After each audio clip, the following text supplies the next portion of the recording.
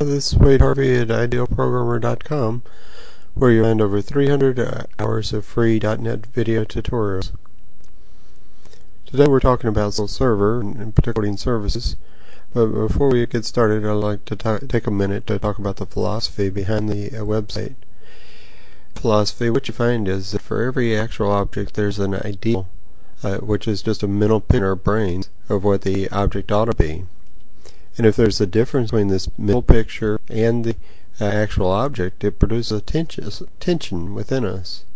And the way we reduce that tension is by performing a massive action to transform uh, the actual object to the ideal.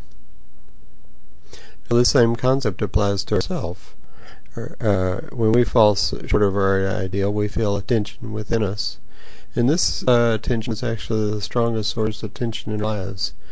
By the strongest, I don't mean the most intense. Uh, other sources of tension, uh, financial gain, uh, the hunger, the basic needs, can override this uh, uh, tension between our self and our ideal. But uh, the this is the most enduring source of tension in our lives. It so we need to take action to try to change our actual self to become more like our ideal.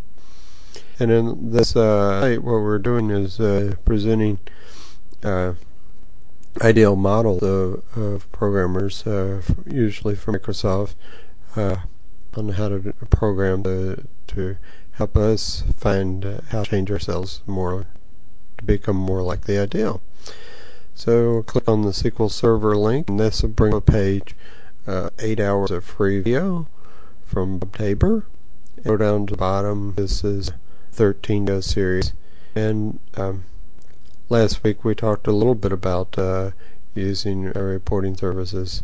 And uh, this week uh, we're not going to use wizards. We're going to build them from scratch uh, in Business Intelligence uh, Development Studio. So please come to idealprogrammer.com to view this and many other videos for free. Thanks.